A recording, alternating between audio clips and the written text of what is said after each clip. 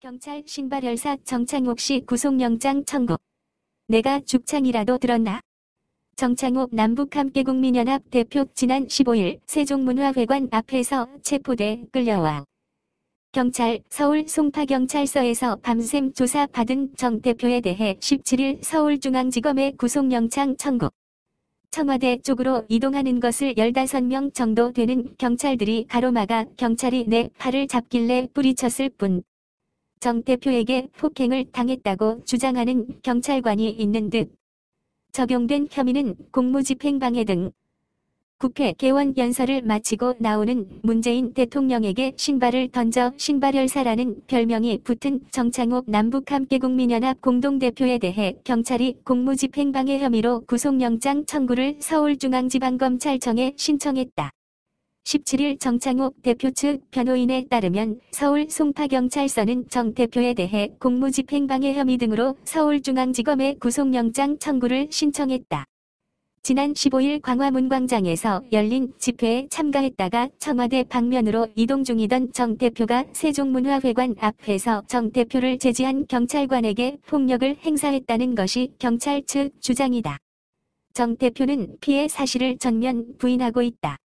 당시 사건 현장에서 15명 정도 되는 경찰관들이 정 대표 앞을 가로막아 이를 피해 가려고 하는데 경찰관들이 정 대표에게 다가와 팔을 잡고 이동을 방해하는 것을 뿌리쳤을 뿐이라는 것이 정 대표 측 설명이다.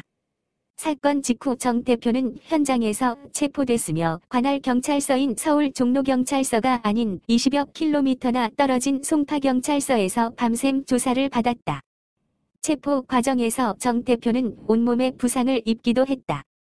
지난 7월 16일 국회 개원 연설을 마치고 국회의사당을 빠져나오는 문재인 대통령을 향해 신발을 집어던졌다가 체포당하는 과정에서 다쳐 가고 있던 오른쪽 팔의 깁스는 이때 부서졌다.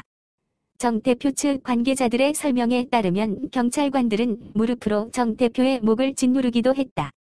정 대표가 촬영한 동영상에는 정 대표의 가슴팍에 여러 상처들이 나 있는 모습이 찍혀 있었다. 현재 상황과 관련해 정창욱 대표는 현 정부의 말도 안 되는 탄압이라고 했다. 그러면서 시위를 하다가 체포되는 경우 훈방 조치가 일반적인데 이렇게 체포돼 영장실질 심사를 기다려야 한다는 사실이 안타깝다며 죽창이나 쇠파이프를 들고 설친 것도 아닌데 현 정부가 시민들을 대하는 것이 마치 그들이 말하는 권위주의 정부가 시민들에게 하던 것과 같다고 덧붙였다. 이어서 정 대표는 만일 좌파 시위 가담자가 이런 식으로 체포됐다면 그 경찰서는 난장판이 됐을 것이라며 자유 대한민국을 사랑하는 특히 광화문에 나온 이들과 더 많은 국민들이 이런 부정한 탄압을 일삼는 현 정부에 대항하기 위해 또다시 나서야 한다고 강조했다. 정 대표와 함께 송파경찰서로 체포돼 온 4명의 시민은 경찰이 귀가 조치한 것으로 알려졌으며 정 대표의 구속 시한은 체포로부터 48시간인 17일 오후 5시 15분까지다. 한편 정 대표 측 변호인단은 중국 바로한 코로나 바이러스 사태를 근거로 집회 개최를 금지하는 것은 불법이라며 정 대표의 행위가 공무집행 방해가 될 수 없다고 했다. 이번 집회금지 조치는 원천적으로 불법이므로 정 대표의 사례는 불법적 집회금지 조치 상황에서 공무집행 방해 명목으로 시민들을 함부로 체포하고 구금의 중범죄를 저지른 것이라는 주장이다. 이들은 또 변론서에서 오로지 계엄령이 선포됐을 때에만 집회 및 시위의 권리가 제약되며 그마저도 국회의 동의를 받아야 한다며 감히 서울시장 직무대행 따위가 전국민의 집회 자유를 고시로 제한할 수 있다는 것은 상상할 수 없는 일이라고 했다.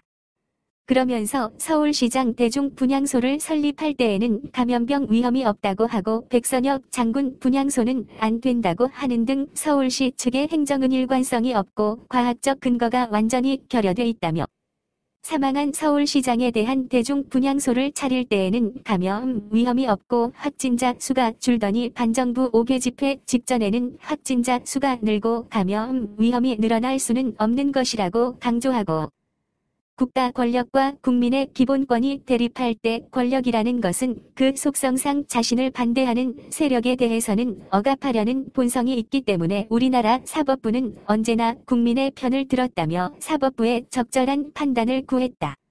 본 기사는 펜앤드마이크 출처 명기한 전제 및 재배포 허용에 의한 기사